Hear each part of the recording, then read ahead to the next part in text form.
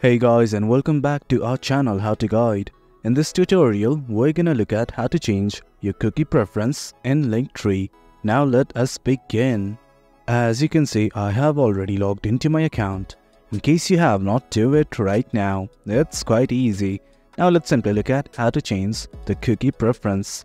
At the bottom left, you can see your username. Simply click on it right now. Well, once you click on it, this thing will open up as you can see, there are lots of options, but right now what we have to focus on is simply this account tab.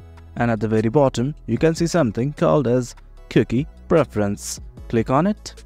And guys, this is it. This is the thing we are looking for. As you can see, from here, you can enable or disable these cookies. Simply toggle off the button and once everything's okay, simply hit unconfirm my changes. And guys, that is it. That's how you change your cookie preferences for your Linktree account. Hope you guys found this video informative and for more content like this do remember to hit like, share and subscribe. Your support fuels us. Until next time, thank you.